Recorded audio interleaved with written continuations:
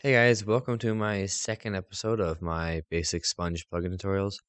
Um, today, like it says in the title, we'll be going over the basics of the command API and how you can use arguments and different stuff like that.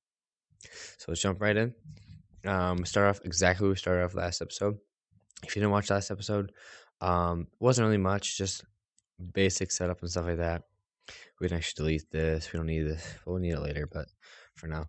Um, so last episode we went over uh basic setup and how to set up your server and how to set up your plugin basics. Um, so getting into commands, there's two command APIs. There's low level and like it's not called high level, but you can call it high level command API. High level is basically like the one that everyone's gonna use. There's command callable and uh, a different one, but we won't get into that.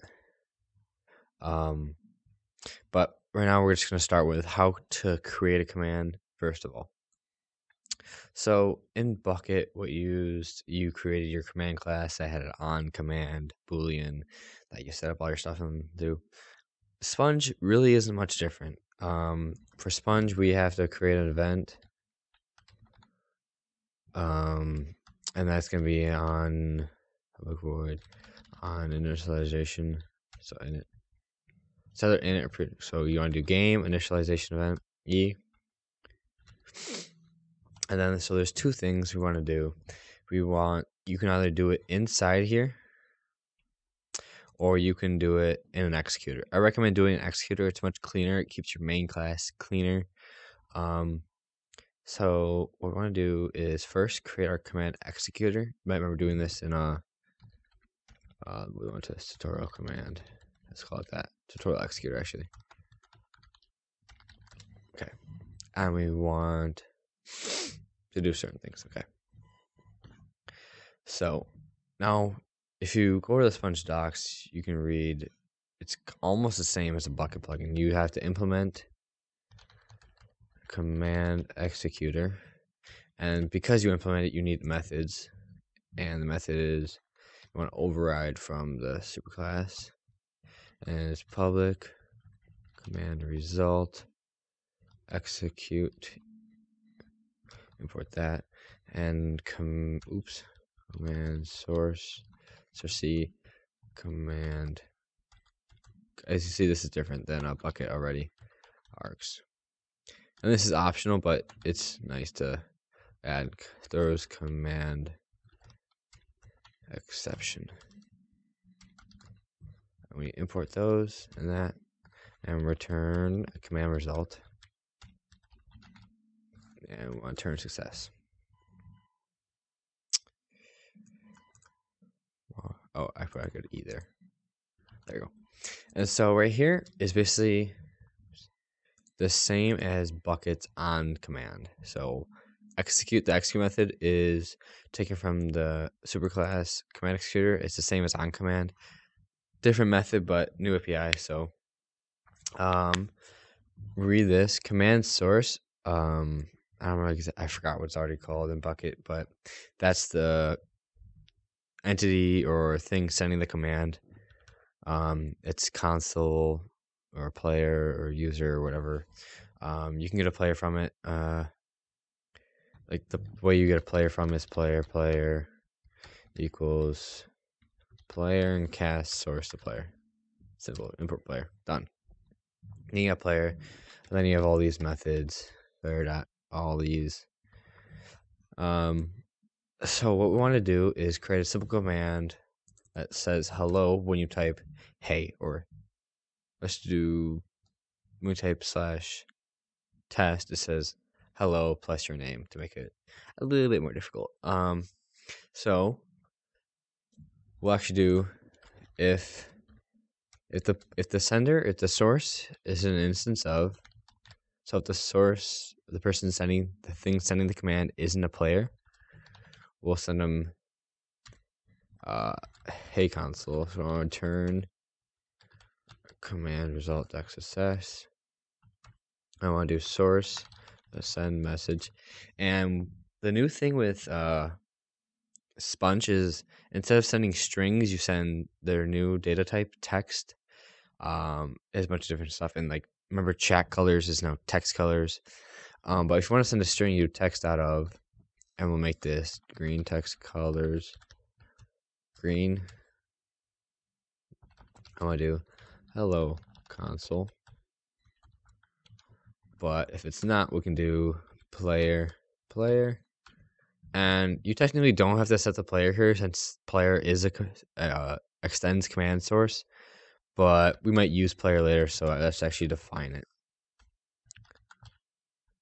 So I'm gonna do player send message, and you can send chat types and make a different chat type and stuff like that. But that's that's for later video, and you can send them same thing as above, but we'll do player text colors dot green, and let's make this hello, comma plus player. Dot get name. And we can we can't run this yet. We need to go back into here. And we need to go back and create a command spec. Um command specific specification. Um this basically sets like the description when you type help the permission and how you set the executor. So how to set when they type the command where to get the information from.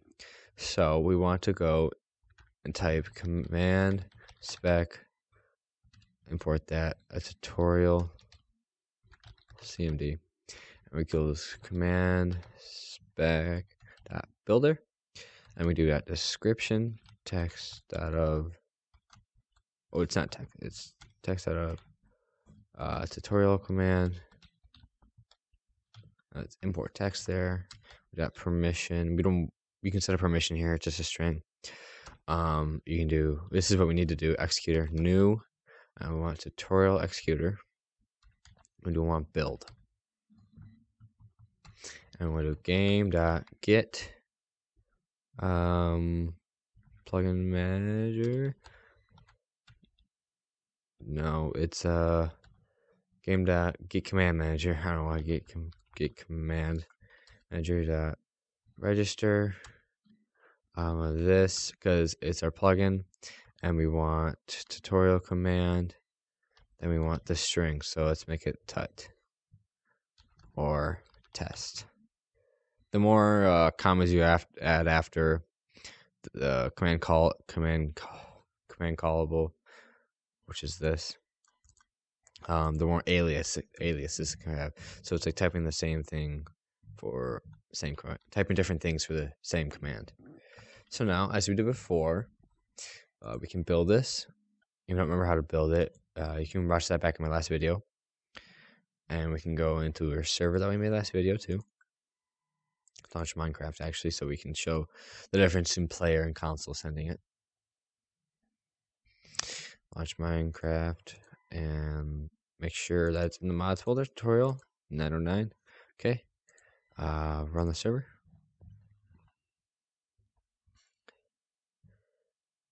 And while this is starting, let's go craft. And that's just not responding. Okay, let's player. Oh, it's still it's still starting then. It says that.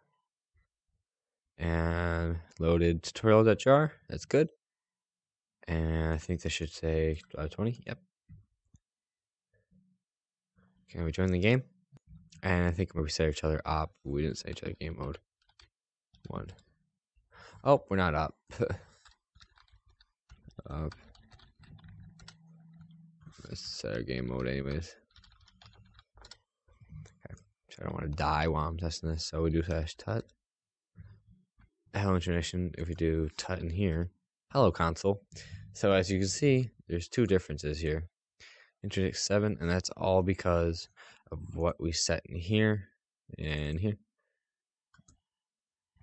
See, now that's cool and all, but it's not really useful unless you want to like create a messaging plugin or something like that. So let's stop the server. Was this? So let's say you want to have some arguments. Um, what do you want to do? First of all, let's remove this. Actually, let's keep the let's keep the console thing but let's say only players can run this command. only players can run this command. And let's make it red, like it's something bad. Okay. Um, and what we want to do in here is there's certain things we can do to set arguments and stuff like that. And this is like parsing the arguments. Um, okay.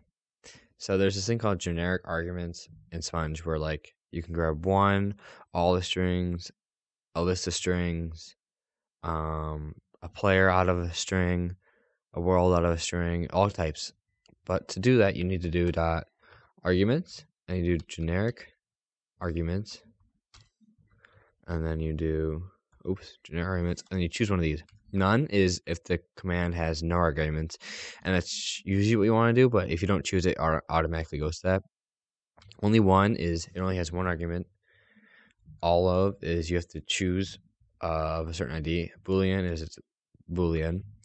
Catalog element is uh, argument is like a member of a specified catalog type. Um, choices is return argument that allows selecting from a limited set of values. It's like you have uh, so our command tutorial, so slash tut, um, choices could be slash tut one or tut two or three. And if it's not one of those, it'll throw an error or an exception. Dimension is it gets a world or a dimension from that, like the end, the nether, or the overworld. Double uh number is like it requires a number and it requires a number to be a double. Enum, it requires a number to be a part of an enum. First parsing, you can read all these in the uh, documentation. Uh, it first parsing is like it matches the first one of like a list of elements. Uh, integer requires to be an integer. Literal, um, that goes along with like part of uh text and stuff like that. Uh, you can read all of these. Location, I'm not going to go into the, but yeah, we want to choose only one. I think uh, probably this way. Only one, and then this isn't the argument you want, but this is like a placeholder for the argument. So let's name this um slash tut one. So let's name this ID and we want to do text. Oh, wait, wait. Okay, so we need to generic mints dot dot string, and we need to do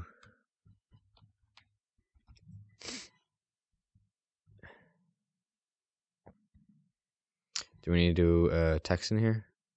Yeah. Okay. So we need to do text dot of ID. So what's going to happen is the argument isn't equal to ID, but to get the argument, you need to do. I'll show you in here. To get the argument, you need to do args get one for ID.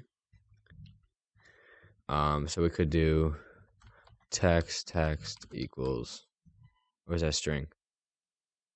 Oh, args one to get because it's optional. Yeah. And is it a string? Optional. Oh, well, I think we just do two string here and then make this a string.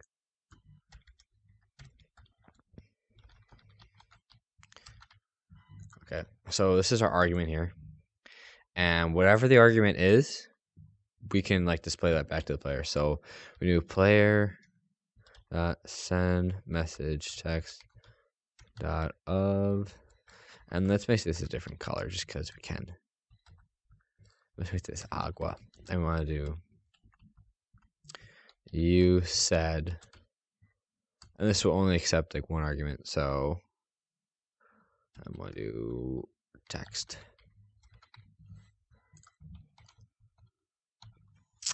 And now since we have this already set in here it's the argument. We want to do build build artifacts artifacts let that build uh, run our server run it Minecraft. And obviously there's more like realistic applications you can do for this. Um there's way bigger things you can do with this, just like there was in Bukkit. So there's the potentials for any plugin API is great. So if we do tut, it's going to give us an error because we don't have enough arguments. Because now we have it specified in here that we need an ID or like an argument. So even if we do it, we tut one, it'll give us you can't run the command. Slash tut one. So we won. So but if we do this, it'll throw an error. We have too many. But again, if we do I love cookies, it'll still work. So that's just a basic uh, general example you guys could use. Um, uh, next video, we're going to be over, going over creating our own messaging system. So ways players can send messages back and forth to other people. Uh, I'm going to have to get someone else to help me out with that or uh, two Minecraft clients, I think. But keep a lookout for that video. Um, hope you guys learned something from this. Uh, it's just a basic tutorial how to begin using commands and arguments. I'll be going into in-depth videos later. Uh, hope you guys enjoyed this video and thanks for watching and see you guys next video.